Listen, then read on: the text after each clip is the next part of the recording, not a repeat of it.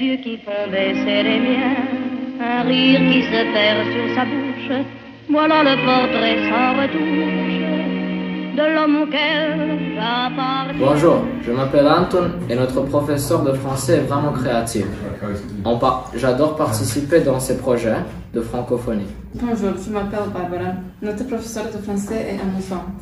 Je m'appelle Mia, j'adore euh, travailler avec TVI. Euh, je m'appelle Yelena, notre professeur est compétente euh, et j'adore faire euh, le projet et training.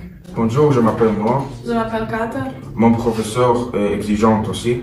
Euh, cela nous permet de parler bien français. Je m'appelle Vita.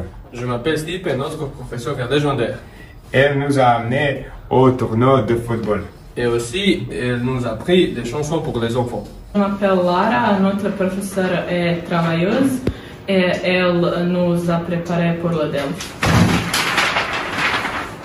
Ja sam Nikola Sebastian Jambrošić, u 9. gimnaziji profesor glazbene umjetnosti.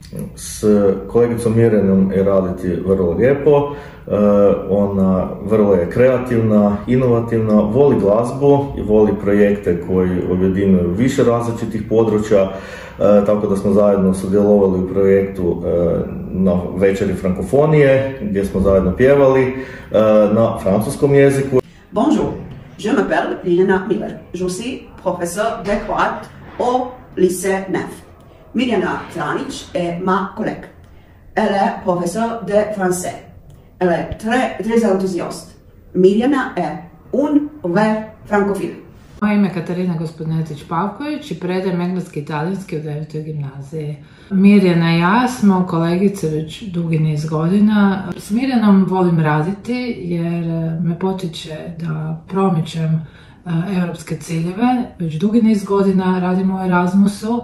Mirjana iz vas uvijek izvlači najbolje, uvjerava vas da možete više i bolje i pomaže vam da stignete do toga. Bonjour, je m'appelle Miliana Franic.